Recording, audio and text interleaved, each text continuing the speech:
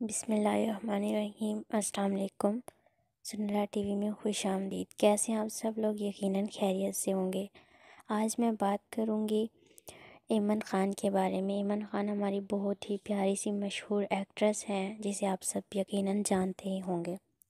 जैसे कि आप सब लोगों को पता है कि इक्कीस दिसंबर को ऐमन और मनाल के वालिद का इंतकाल हो गया था। इसके बाद दोनों बहनें ही मीडिया से बिल्कुल गायब हो गई थी। यहाँ तक कि ऐमन ख़ान को अमल मुनीब का भी होश नहीं रहा था। अमल मुनीब उनकी बहुत ही प्यारी, खूबसूरत सी बेटी है। इसलिए अमल मुनीब को भी मुनीब बट यानी कि ऐमन ख़ान के हस्बैंड जो हैं, उन्होंने ख़ुद ही अकेले संभाला था। मगर अब ऐमन ख़ान आहिस्ता आहिस्ता ज़िंदगी की तरफ़ दोबारा वापस आ रही थी और शोबिस में भी काफ़ी हद तक फ़ोटो शूट कराती नज़र आने लगी थी। यहाँ तक के फ़ंक्शंस में भी दोबारा नज़र आना शुरू हो गई थी। हाल ही में निदा यासी की बर्थडे पर भी वो नज़र आई।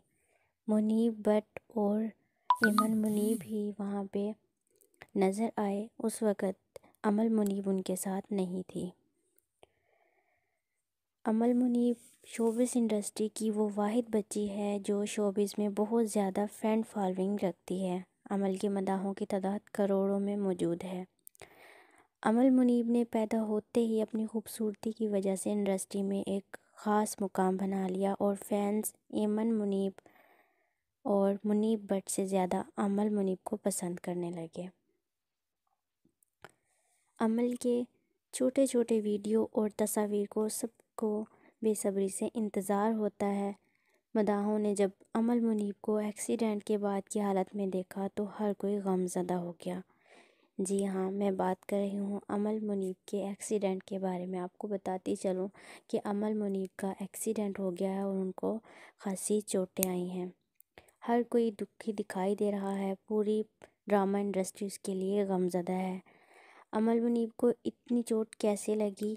आपको आगे चल के बताते हैं। इसी वीडियो में इससे पहले चैनल को सब्सक्राइब कर लें। तो जैसा कि आपको बताया कि वालिद की वफ़ात के बाद एमन ख़ान अपने माँ और बहन भाइयों को संभालने में इस कदर लगी हुई थी कि उसको अमल मुनीब का भी होश नहीं था और अपने भी होश खो बैठी थी।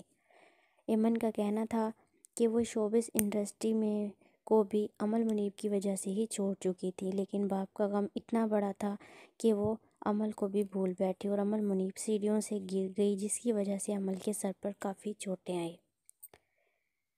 अब अमल मुनीब खासी बेहतर हैं पहले से, लेकिन फिर भी एमन मुनीब बहुत ज़्यादा परेशान है उनकी वजह से। तो उनके लिए दुआ कीजिए कि अल्लाह ताला उनकी बेटी को जल्द अज जल्द सेहतियाब करे। वो बहुत ही क्यूट सी, नन्ही सी परी है, अल्लाह पाक उसको सेहत फरमाए। वीडियो कैसी लगी कमेंट करके ज़रूर बताइएगा। अपना बहुत सारा ख्याल रखिए। अल्लाह हाफिज़।